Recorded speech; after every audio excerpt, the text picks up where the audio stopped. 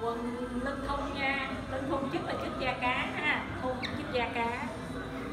Chiếc da cá nha, mà nó làm cái màu quá á, như là đồ riêng vậy, nhìn như là đồ riêng vậy lưng thun mặc rất là thoải mái nha chiếc là chiếc thun thun co giãn ha.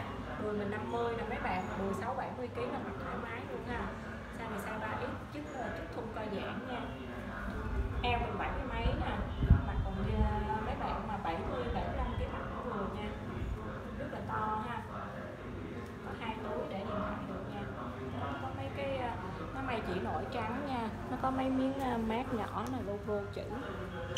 Ở đây làm kiểu, nói chung nhìn rất là đẹp, ha.